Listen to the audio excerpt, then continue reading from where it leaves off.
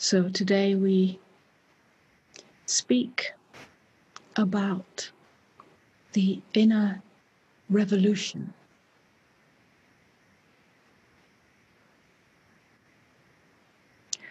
Awakening is revolutionary. It's revolutionary because it collapses all psychological structures that uphold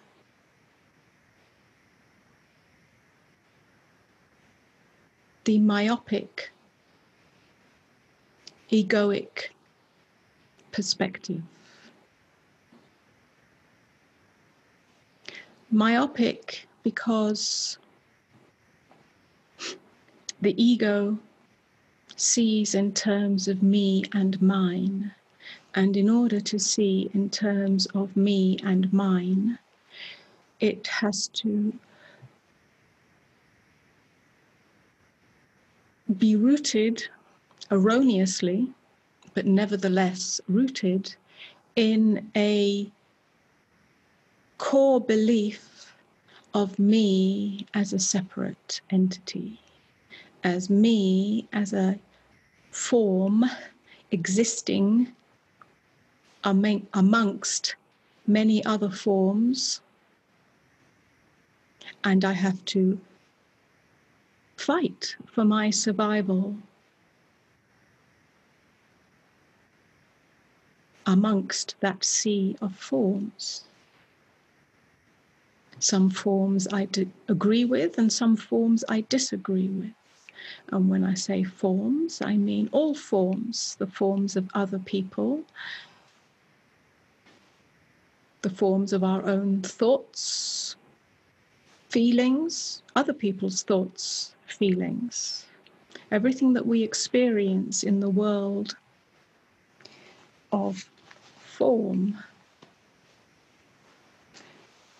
Let me just backtrack a little bit. When I say awakening, awakening is revolutionary. I'm not talking about awakening as an awakening experience, as a satori, or as a some kind of spiritual high, or even a spiritual insight, or any momentary or short lasting, or even long lasting but nevertheless temporary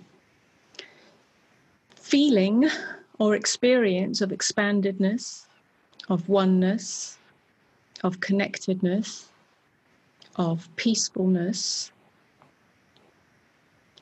that then returns back to a sense of perhaps fear or anxiety or despondency or uncertainty or poor meanness. Yeah. I'm talking about awakening as the truly revolutionary shift in consciousness when all internal psychological structures collapse that previously upheld me as a separate entity, me as a thing, a body, a person, a personality, an entity of some kind in which I am separated from other forms by space. and those other forms are either in agreement with me or in opposition to me. I either like them or dislike them. I either want them or don't want them. And with that comes the seeking of happiness, fulfillment, peace, love from the attempt to possess, take ownership of, create more of, manifest more of those forms I like, I want, I hold up as more valuable to me than the others. And again, those forms may be people that appear in our lives, or things, possessions, material things, achievements, or the forms of our own thoughts and feelings in which we uphold or hold up positive thoughts, nice feelings, spiritual feelings as more valuable to me than the ones that I don't like, that are unwelcome, that I have labeled as not good enough, not valuable enough, not wanted, not welcomed, too difficult, unbearable, and so on. Awakening, true awakening, is the end of that mechanism of seeking fulfillment for me, yeah, seeking my happiness, seeking my peace, yeah, and so on from the world of form, external form or internal form. It's the end. With that end comes the collapse of a fundamental core belief of separation. That is radical. That is revolutionary. It changes everything. It changes your perspective. It changes your perception. You no longer come from a place of belief. All beliefs are deconstructed. The primary unexamined belief is that I am this, this body, this personality, this yeah, this separate entity. When all beliefs are deconstructed, yeah, they collapse. That doesn't mean that we meet life from ignorance or from stupidity or from childishness It means we no longer have to defend our position. We no, longer have to defend that belief, which is either a conscious belief, yeah, we, we're aware of it, it becomes a thought, or it's an unconscious belief. We're not aware of it, and yet it drives the seeking mechanism it drives what we seek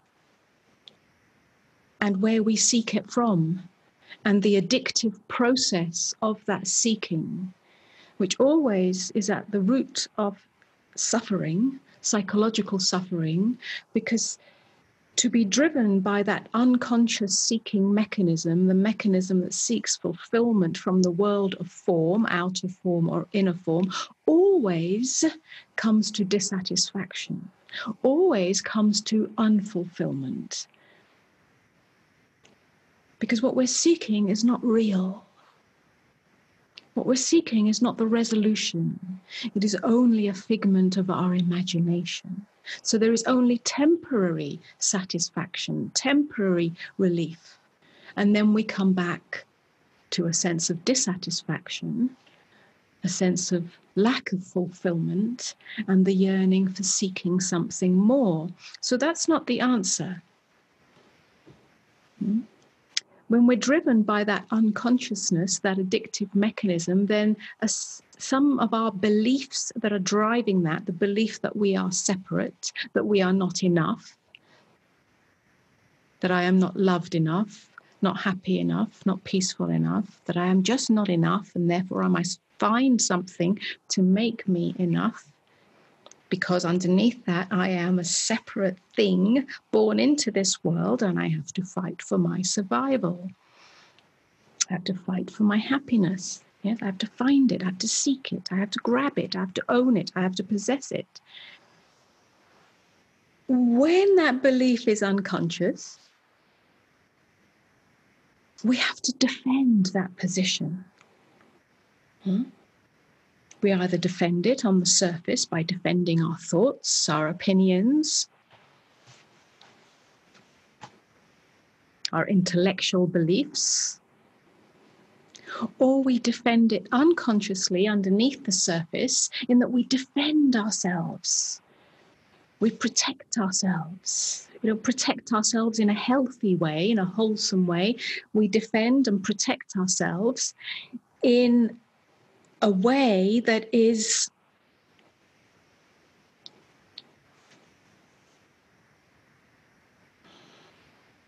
that cre- and in a way that creates further division and separation within and usually without but within yeah. When we need to defend our core belief in separation then anything that arises in consciousness that seems to be in opposition to that we create an enemy out of. That's the root of inner division. Awakening is the end of all that. When awakening goes down all the way from a mind realization to a heart surrender to falling into the depth of openness, open silence at the core of being, then all those structures, internal structures, come tumbling down. That's revolutionary. Yeah, the internal revolution has begun. It's the end of inner division, it's the end of inner violence. You're no longer violent towards feelings that arise. Everything is welcome. There's no more division into good feelings or bad feelings. And the paradox is when there is a non judgment, when there is an equanimity, when there is a gentleness towards all that arises, all feelings that arise, all experiences that arise in consciousness, in you, the paradox is that there's no more fight against it. And when there's no more fight against it,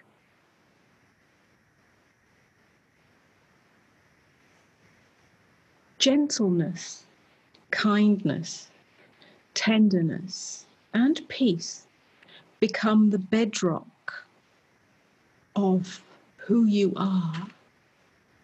Yeah?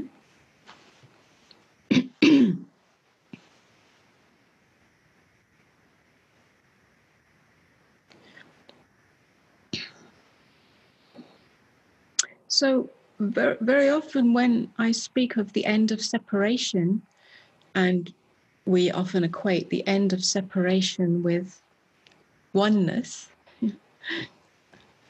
so then this idea of oneness is taken, and it's often um, often interpreted as being in agreement with everyone, everyone thinking the same way, everyone being like minded, everyone being spiritually awakened in the same way.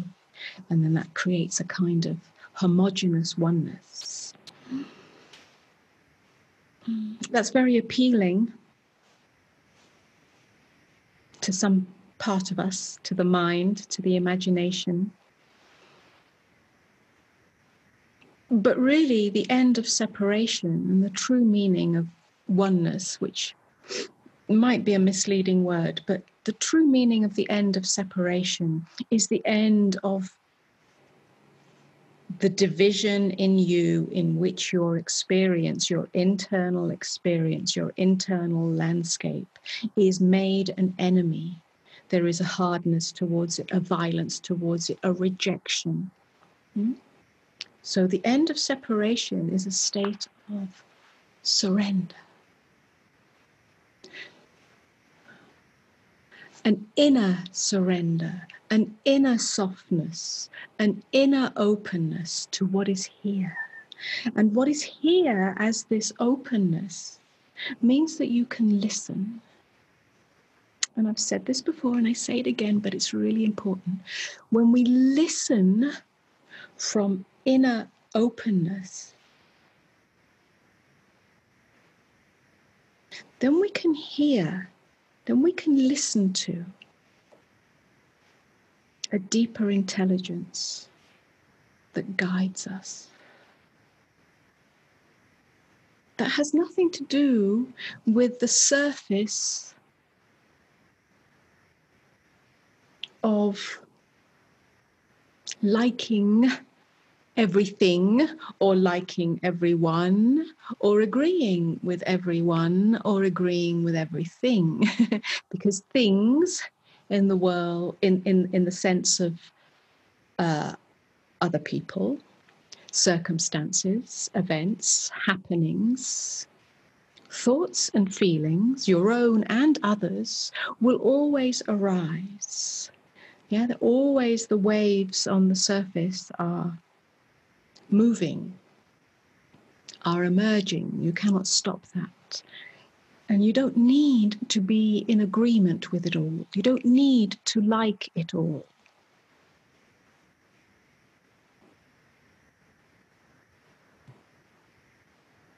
The invitation is to meet it all not from the surface, but from the deep, from the depth. And in that depth, there is an open awareness, an open silence. There is a spaciousness that is innately kind, innately tender. It has no need to reject anything.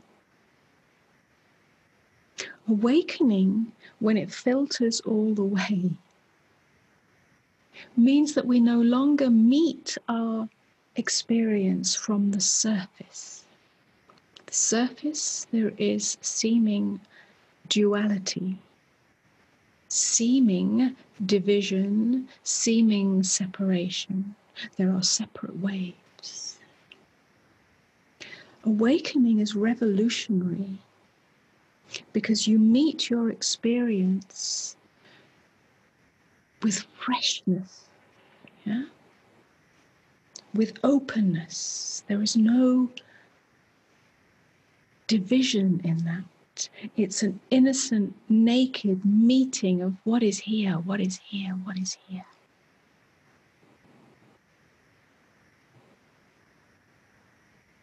That fundamentally changes everything. Fundamentally changes how we meet our experience, how we meet our own lives, how we meet each other, and how we meet the world. It doesn't happen from the top down, it happens from the inside out.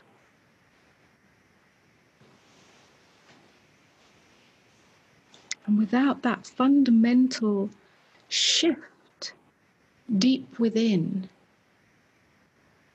there can be no true revolution there can be no true revolution of love in our lives or in the world. There can be no true revolution of peace in our lives or in the world. That's why there is such a personal responsibility in this. Not the responsibility to do the right thing or follow the right belief spiritually or ethically or morally, but to look within with such honesty, with such humility.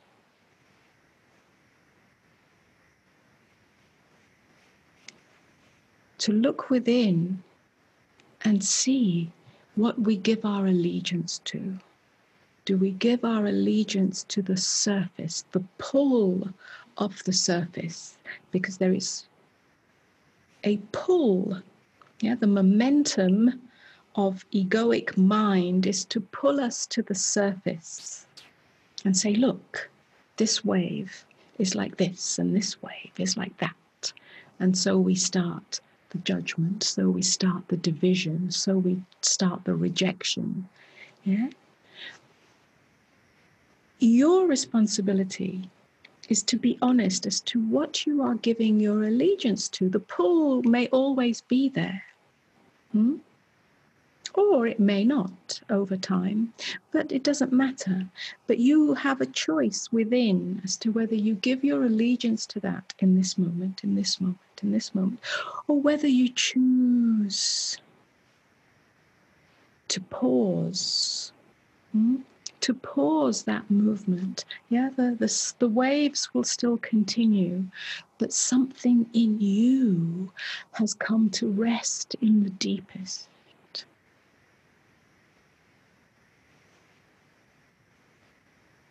It's the, it's the willingness to surrender. The following of that movement to the surface. Yeah?